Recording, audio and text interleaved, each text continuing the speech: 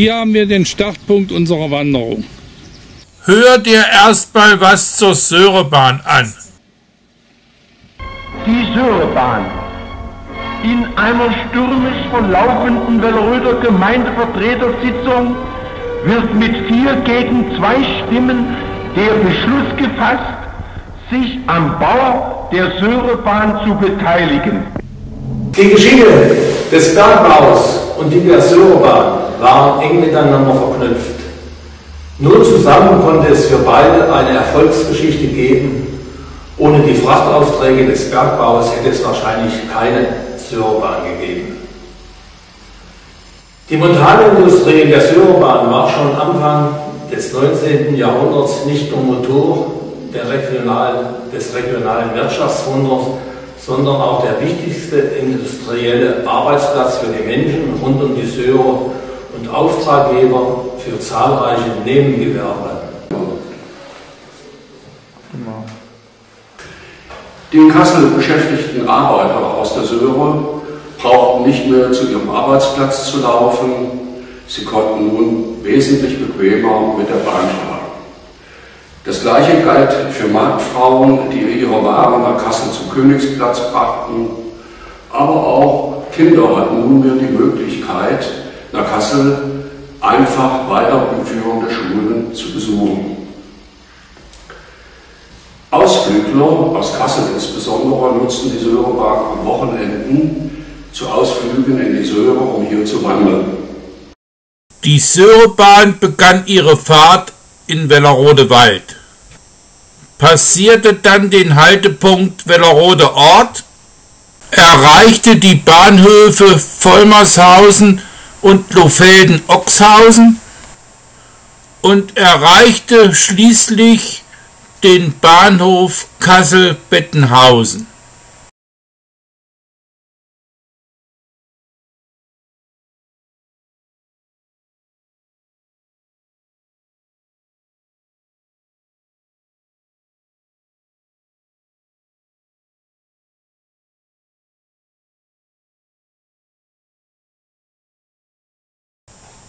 Wir gehen jetzt zum Zechenweg.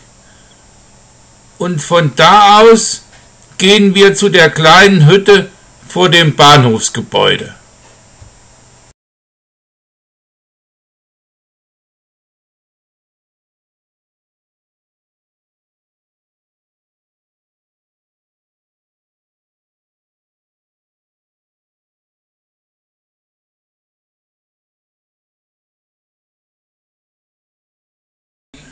Jetzt setz dich erstmal in die Hütte und schau dir das Bahnhofsgelände von oben an.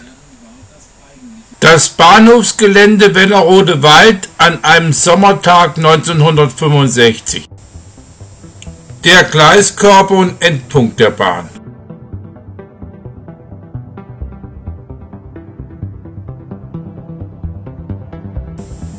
Der Kohlebunker.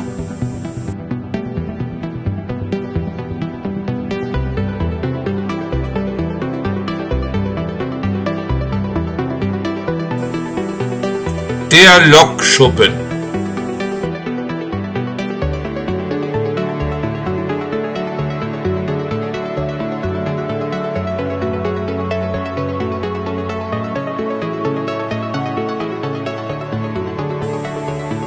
und das Bahnhofsgebäude selbst.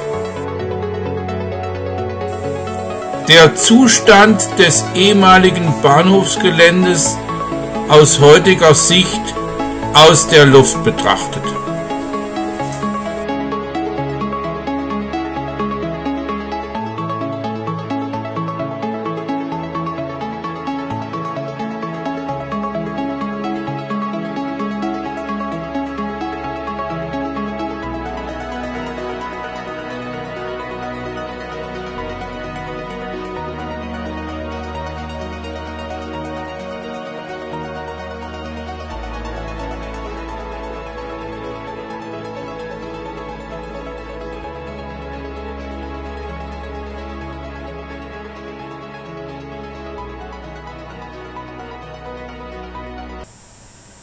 Die Gleisanlagen im Jahre 1966.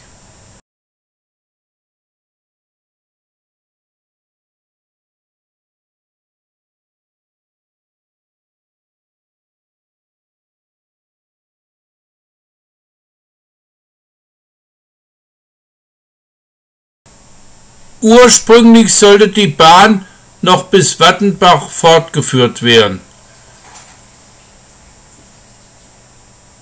Doch Wattenbacher Fuhrunternehmer verhinderten dies, weil sie Angst um ihren Profit hatten.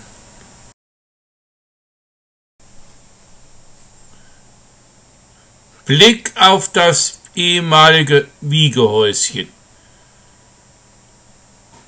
In seiner Flucht stand der Kohlebunker. Der Bunker wurde durch ein Feuer in der Seilbahnanlage zerstört und nicht wieder aufgebaut. Also hier ist der Betonklotz, der Prellbock von dem Abstellgleis von der Zufahrt der Loren. Und hier war im Grunde genommen dann die Schüttverladung auf der Kohlen auf die Waggons, die dann nach Kassel gingen zum Verbrennen in der Händschelei oder ins Kraftwerk. Da in die Richtung war mein Elternhaus und von unserem Grundstück habe ich direkt auf die Versorgungsanlage für die Loks geguckt. Hier war der Wasserkran und die Bekohlungsanlage für die Loks und direkt im Anschluss daran bis zu dem Ende von dem weißen Zaun, etwa da ging der Lokschuppen. Komm, ich zeige dir was vom geschäftigen Treiben am Lokschuppen. Lok 3 wird gewartet. Das Schmieren und Ölen der Lok ist immens wichtig.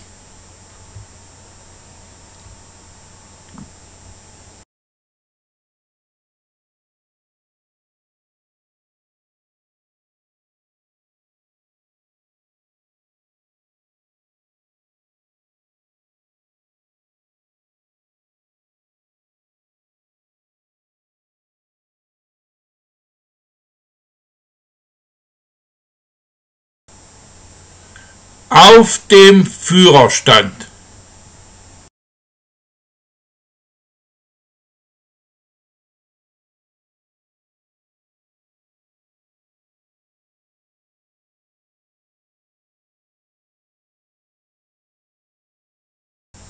Aber es ist nicht alles verloren gegangen vom rollenden Material. In Krefeld-Tönnisforst fahren noch zwei Wagen der Sörebahn.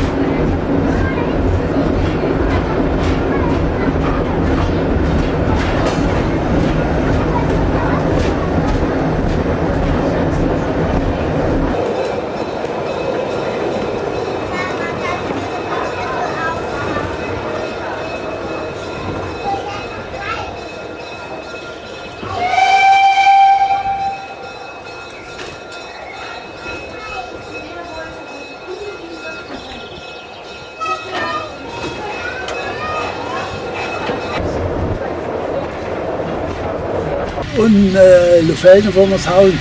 Das war die, die gesamten Pläne vom Bahnhofsgebäude.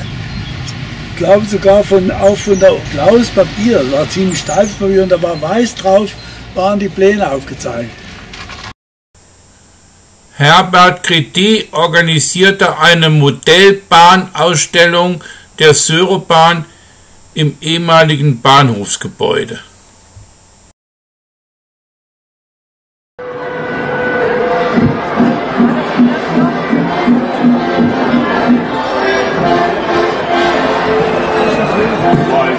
Du mir meine machen, mit so ständig 40 Sachen, wo du mit der Söhrebahn hat es keine Freude dran. Bellerode, Ferdenhausen, auf und runter muss sie sausen, das versteht ich zu mir laut, dahin singt mein Teufel auf.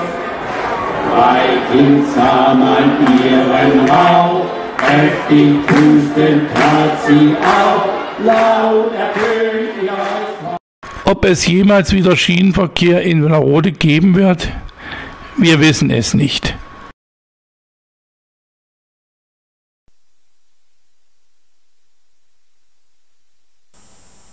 Zwischen diesen beiden Filmaufnahmen liegen 50 Jahre.